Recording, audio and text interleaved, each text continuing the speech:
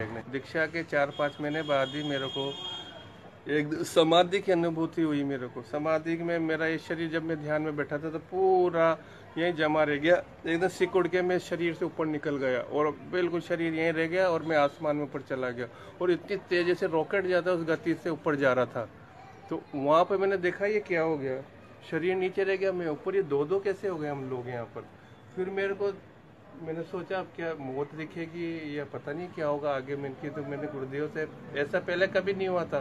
मैं तो मैंने गुरुदेव से प्रार्थना की, गुरुदेव, आज मेरे को नीचे ले चलो।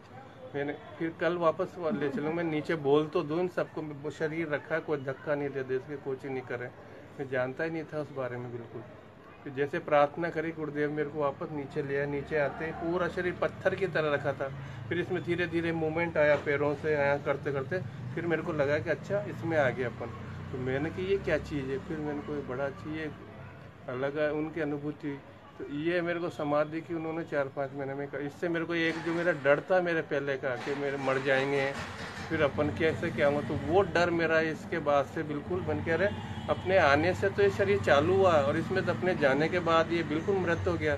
इसका मतलब एनर्जी तो अपन खुद है अपनी एनर्जी है। अपन आने से तो ये लगा अपन तो मर ही नहीं सकते कभी।